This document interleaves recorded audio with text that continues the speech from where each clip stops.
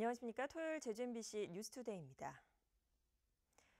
최근 개발 사업 승인이 취소됐던 제주시 오라 관광단지에 중국 자본이 대규모 복합 리조트를 건설하겠다고 나섰습니다. 외국인 전용 카지노와 면세점도 만들겠다는 계획을 내놔 논란이 예상됩니다. 김찬년 기자입니다. 개발 허가 이후 15년 동안 진척이 없다가 사업 승인이 취소된 오라 관광단지. 제주도 환경영향평가 심의위원들이 현장을 찾았습니다. 중국 자본인 JCC가 기존 부지에 목장 용지 9만 제곱미터를 더 사들여 복합 리조트를 짓겠다며 환경영향평가 심의를 신청했기 때문입니다.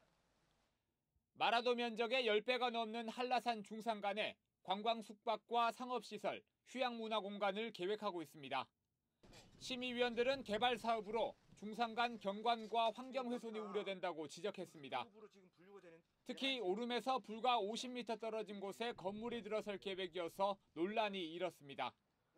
다른 지역 사례를 보면 네. 최소한 100m 이상 이제 이격시켜서 네네. 그 원형 보존 지역을 확대하도록 이렇게 도에서 유도를 해오고 있습니다. 그런 사례를 한번 참고로 해보셨는지 아니면 50m라는 근거를 어디에다 두고 하셨는지 부지가 가지고 있는 좀 열악한 이 배치나 이런 것들 좀 고려해서 그런 것들은 좀 말씀하신 대로 사업자가 계획을 하면서 한 50m 정도는 이제 띄우자 이렇게 해서 이제 이렇게 했던 부분이에요. 사업자가 공개한 세부 사업 계획에는 외국인 전용 카지노 시설과 면세점 추진도 포함됐습니다. 마카오의 카지노 전문 기업인 갤럭시 엔터테인먼트와도 공동 사업을 협의 중이라고 밝혔습니다.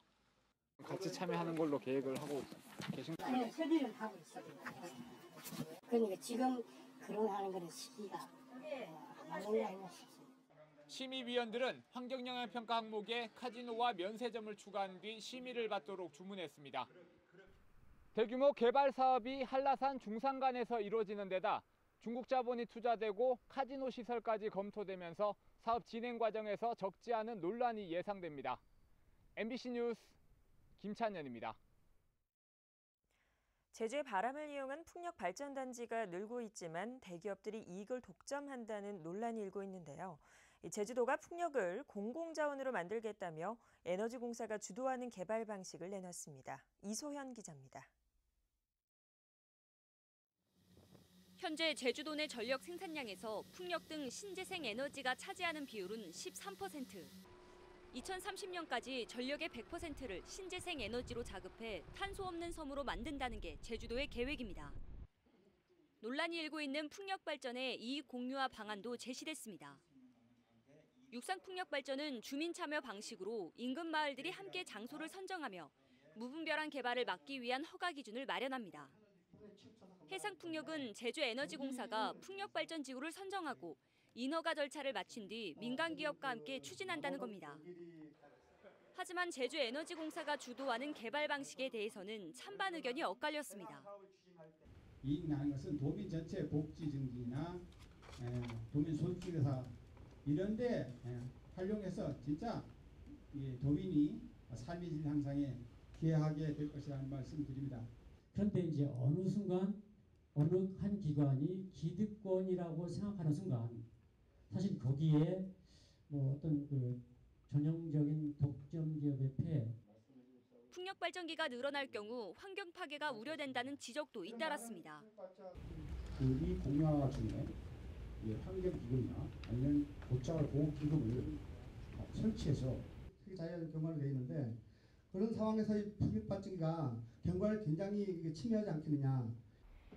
제주도는 이번 토론회에서 나온 도민들의 의견을 반영해 다음 달 풍력 관리 계획을 최종 발표할 예정입니다.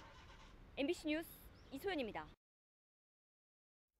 5단계 제도 개선안이 담긴 제주특별자치도 특별법이 어제 공포돼 6개월 뒤인 내년 1월 25일부터 시행됩니다. 개정된 특별법에 따라 낚시어선의 스킨스쿠버 다이버 승선이 허용되고 제주산 농산물의 해상 운송비 지원 근거가 마련됩니다. 또 투자진흥지구 관리 권한이 JDC에서 도지사에게 이관되며 자치경찰에게 직결 심판 청구와 통행금지 등의 권한이 부여됩니다. 제주도와 도의회가 추경 예산안을 놓고 또다시 정면 대립하고 있습니다. 제주도의회 예결특위는 오늘 추경 예산 개수 조정을 벌였지만 의원들이 증액한 예산을 놓고 제주도와 실랑이를 벌이다 결론을 내리지 못한 채 선회를 선포했습니다. 도의회는 모레 다시 회의를 열어 추경 예산안을 의결한 뒤 오는 28일 본회의에 상정할 예정이었지만 원희룡 지사가 반대 입장을 보이고 있어 또다시 충돌할 가능성이 높아지고 있습니다.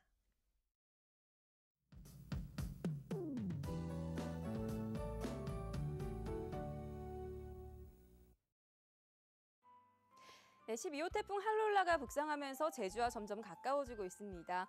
이번 태풍은 중심기압 975헥토파스칼의 최대 풍속 초속 32m로 이 강도는 어제보다 한 단계 약해졌는데요. 현재 일본 오키나와 동남 동쪽 부근 해상에서 서진하고 있습니다. 지금 예상대로라면 내일 서귀포 남동쪽 해상까지 바짝 다가서겠고요. 제주가 태풍의 직접 영향권에 드는 만큼 바람과 비 피해 없도록 철저히 대비하셔야겠습니다. 이 태풍의 영향으로 오늘부터 제주 해상 에는 풍랑특보가 내려지겠고요.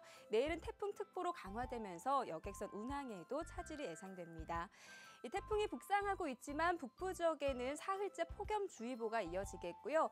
내일은 태풍의 영향으로 비가 오면서 더위가 주춤하겠습니다. 다만 태풍이 지나고 나면 다음 주부터는 다시 열대야와 무더위가 기승을 부리겠습니다. 날씨였습니다. 오늘 새벽 5시쯤 서귀포시 서우동에 있는 한 농산물 판매점의 조리식 창고에서 불이 나 건물 6제곱미터와 공구류 등을 태우고 20분 만에 꺼졌습니다. 소방당국은 건물 벽면에 설치된 시즈히터가 심하게 녹은 점을 밀어 시즈히터 과열로 불이 난 것으로 보고 정확한 화재 원인을 조사하고 있습니다. 어제 오후 4시쯤 제주시 일도 일동 주민센터 앞 도로에서 지중화 공사를 하던 중 상수도 배수관이 파손돼 인근 다섯 개 동지역의 세대가 4시간 가까이 단수되는 등 불편을 겪었습니다. 수자원본부 제주시 지역사업소는 밤사이 임시 복구 작업을 끝낸 뒤 배수관 교체 작업을 마무리했습니다. 한국전력은 터파기 작업을 벌이는 과정에서 집안이 약해져 상수도관이 내려앉았다고 밝혔습니다.